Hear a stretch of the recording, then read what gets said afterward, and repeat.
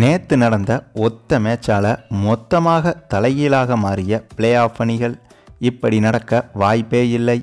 IPL வரலாற்றை புரட்டி போட்ட சம்பவம். வாங்க அது என்ன தகவல்கள்னு விரிவாக பார்ப்போம். அதாவது கேகேஆர் வெர்சஸ் லக்னோ அணிகள் விளையாடிய நேற்றைய போட்டியில் முதலில் பேட்டிங் செய்த லக்னோ அணி சூப்பராக விளையாண்டாங்க. ஓப்பனிங்கில் இறங்கிய கேஎல் ராகுலும் டீகாக்கும் சேர்ந்தே மொத்த போட்டியையும் முடிச்சு விட்டாங்க ஆமாங்க இருபது ஓவரும் இவங்களே நின்று ஐம்பத்தோரு பாலில் அறுபத்தெட்டு ரன் அடித்த கேஎல் ராகுல் ஒரு பக்கம். அந்த பக்கமோ பத்து சிக்ஸர் பத்து பவுண்டரின்னு இருபதே பாலில் சதம் போட்டு நூற்றி நாற்பது ரன்கள் அடித்த டீகாக் மறுபக்கம்னு இந்த ரெண்டு பேர் மட்டுமே கடைசி வர ஆட இறுதியாக இருபது ஓவர்கள் முடிவில் லக்னோ அணி இருநூற்றி பத்து ரன்கள் எடுத்தாங்க.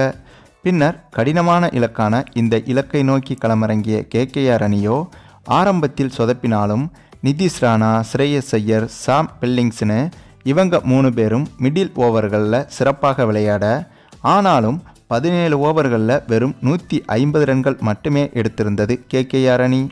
சரி அவ்வளோதான். கேகேஆர் அணி முடிஞ்சு போச்சு.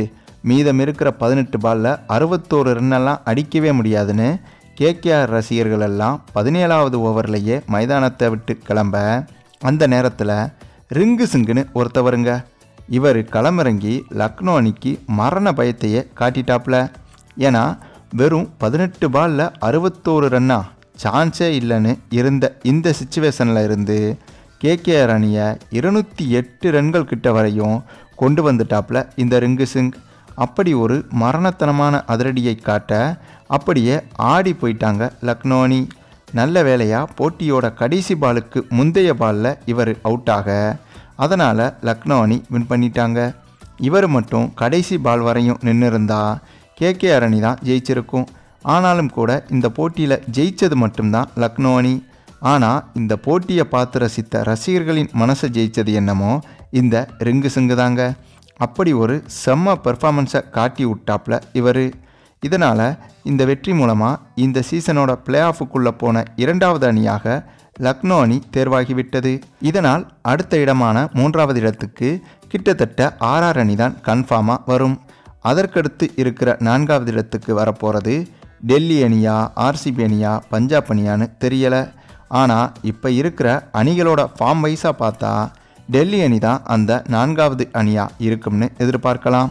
ஆக மொத்தம் நேற்று நடைபெற்ற இந்த போட்டி என்பது ஐபிஎல் வரலாற்றிலேயே நடைபெற்ற மிகச்சிறந்த போட்டிகளில் ஒன்றாகவே கருதப்படும்.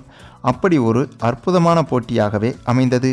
சரி நீங்கள் சொல்லுங்கள் இந்த மேட்சை நீங்கள் பார்த்தீங்களா? மேட்ச்சு எப்படி இருந்துச்சுன்னு உங்களுடைய கருத்துக்களையும் கமெண்டில் தெரிவிங்க. மேலும் இந்த வீடியோ பிடிச்சிருந்தா லைக் பண்ணுங்கள் மற்ற அனைவருக்கும் ஷேர் பண்ணுங்கள் மறக்காமல் நம்ம சேனலை சப்ஸ்கிரைப் பண்ணுங்கள்